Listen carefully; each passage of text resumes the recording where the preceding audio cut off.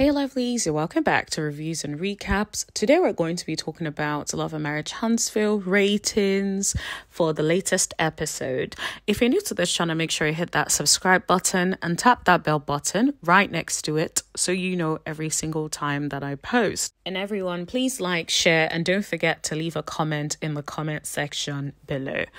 Now, shout out to Money Making Melody fan page um for this tea. So the latest episode ratings have come through and it is the lowest this season. It is 238,000 views. That is crazy from a show that has gone from 1 million plus to barely 200,000. That is crazy. It's like how the mighty have fallen. So, like, if you guys were watching my previous videos, you would know that the highest it got this season was 323,000 views, um, and that was for season two. Remember when we were talking about the fact that a lot of like popular bloggers were jumping on Love and Marriage Huntsville, and we said that we're going to see like an immediate, likely to see an immediate increase in the viewership, um, but is likely to then plateau after that well, I guess we were right because after that season, th- um, episode three, we got two hundred and sixty-eight thousand views, um, and then for episode four, um, that even reduced more to two hundred and fifty-seven thousand views, and then in the next episode, episode five, it then got up to two hundred and fifty-eight thousand views, um, which increased by one thousand if you compare it to the previous episode. And then it then reduces um, to 238,000 views. So if you think about it, it feels like the episode two was a glitch um, by having 323,000 viewers. If you then compare that, every episode since then has been within that 200 mark. Technically, it feels like it's been on a steady decline since the 323,000 views because going from 323,000, if for instance they brought their A game, they would have been able to hopefully sustain a at least part of that viewership that showed up for the 323,000. But what it comes across as is they could not sustain it and then it moved lower to into the 200s and kept moving lower. And then there was a glitch of a 1000 spike, which came back up and then went back to being low. So, on average for this season, it's within the 200s. That is appalling. And if I just quickly read what Money Making Melody fan page says, um, it says from 1 million plus viewership to almost only 200k. This is what giving abuse a platform looks like. This is what sacrificing your franchise player for your most liable player looks like. This is what making a mockery out of the majority of your viewers looks like. With much success comes much responsibility. That means you have to hold someone accountable if they are derailing something that could be amazing.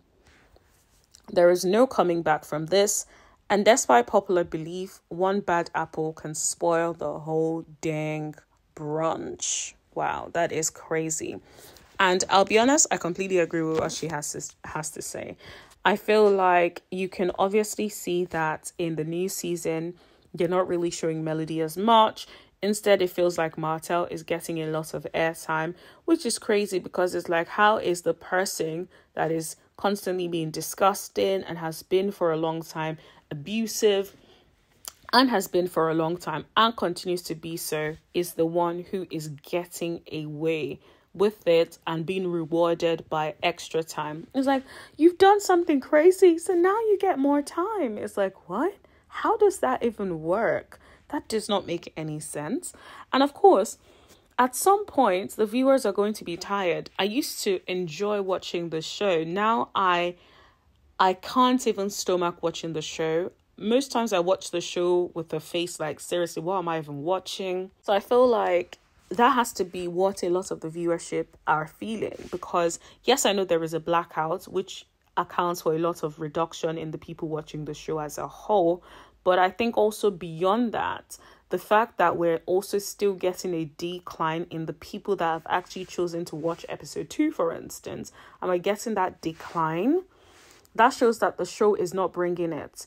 Whatever the show was planning for this season is not working and I hope that Carlos King and production and whoever is involved can take some learnings from this to do something differently in season, in the new season. But I just don't believe that that is going to happen, and it's quite shocking and disappointing. At this point, we have to question whether Carlos King wants the success of his show. Do you want the success of your show more than you care for certain cast members? If it is a yes, then you would be willing to do whatever it takes to take the show further.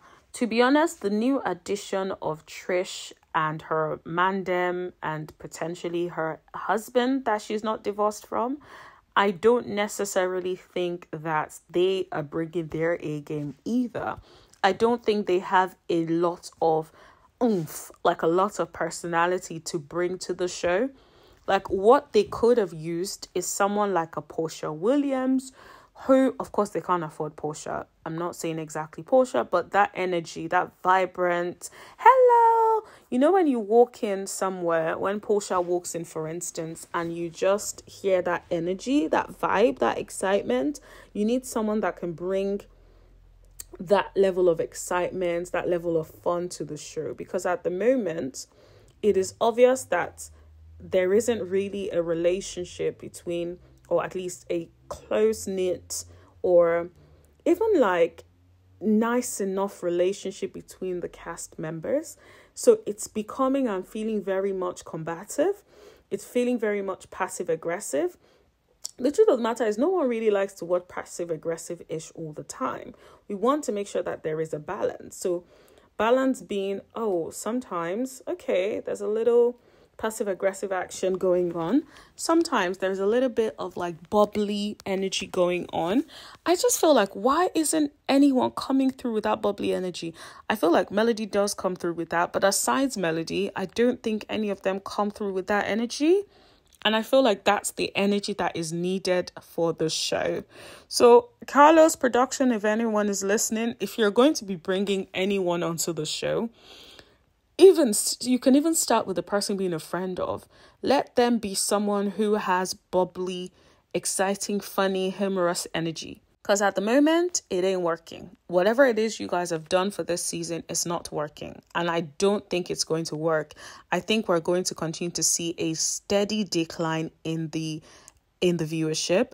But what we are going to see is an increase in people who watch the reunion. People like to watch reunions because reunions tend to be better than the whole show. So most people will watch the reunion. At least if it's two parts, most people will watch the first one. Um, and if it's not bringing it, they're not going to really watch the second one. But we're going to see an increase in the reunion. That's my prediction.